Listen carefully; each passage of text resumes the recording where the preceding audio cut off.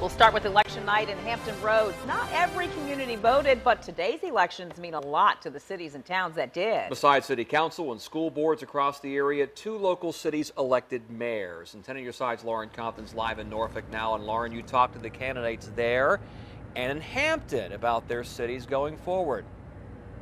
I did, Tom, and they each say that they have some big plans for their city, everything from improving schools to improving the economy. But before we get to that, I want to give you the latest results of, the, of those mayoral races that we followed.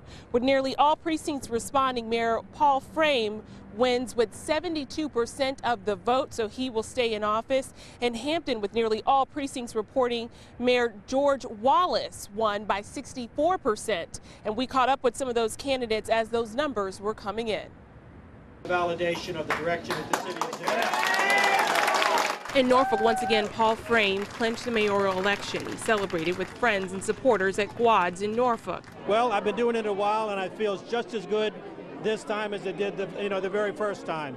I've been in elected office 28 years now.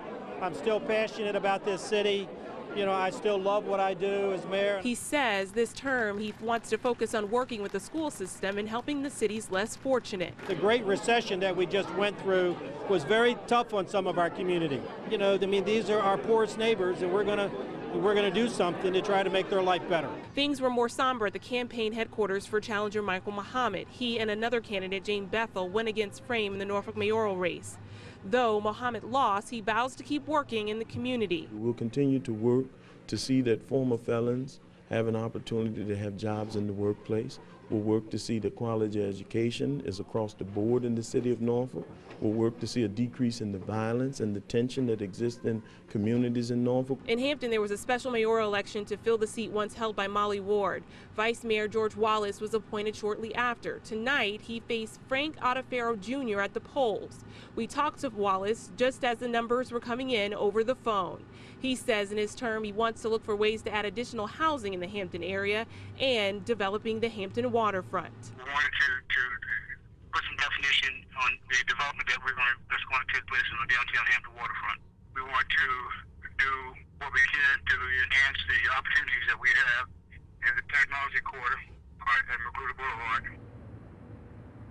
And Mayor McKinley Price in Newport News ran unopposed. Reporting live in Norfolk, Lauren Compton, 10 on your side. And a number of city council and school board seats up for grabs in the metro as well. You voted in Newport News, Chesapeake, and Hampton, and in Norfolk, voters picked council members in wards 3, 4, and 5. All of those results, along with the surrounding communities, are scrolling right now at the bottom of your screen. Getting tonight's election results for you wasn't that easy. They come from the State Board of Elections, and the board told 10 on your side it experienced technical issues with some communities, and we're finding out now that it's still happening. Officials say they're working to fix it, but we will see a lag in results with some smaller communities. Meantime, turnout was light today in Hampton Roads and North Carolina. Election officials in Norfolk tell us there weren't many people at the polls. We saw very few at the Larchmont Library Precinct. We are still waiting for official turnout numbers.